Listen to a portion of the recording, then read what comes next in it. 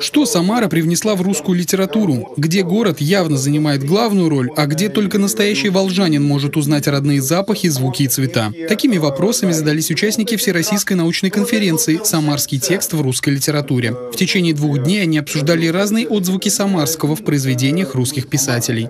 Никто не считал эти тексты, и никто последние там несколько десятков лет не э, брался ну, обнаружить да, вот эти тексты, эти смыслы.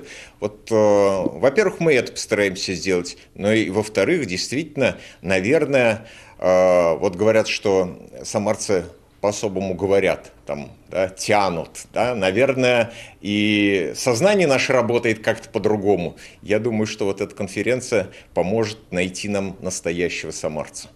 Одним из кандидатов в настоящие самарцы стал Евгений Чириков. Писатель в конце 19 века начинал свою литературную деятельность в Самаре. Здесь он работал в «Самарской газете» и «Самарском вестнике». Опыт жизни в городе на Волге лег в основу его первых произведений. «Самарская» в его текстах, а также его творческий путь тоже обсуждали на научной конференции фундамент будущего творчества Минского заложен был здесь именно в Самаре.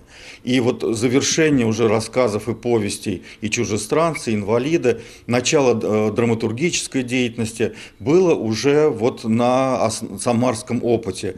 Поскольку самарские тексты и смыслы в литературе только начинают изучать, то планируется, что эта конференция станет традиционной, и участники будут открывать новые страницы этой увлекательной темы. Андрей Горгуленко, Григорий Плешаков. События.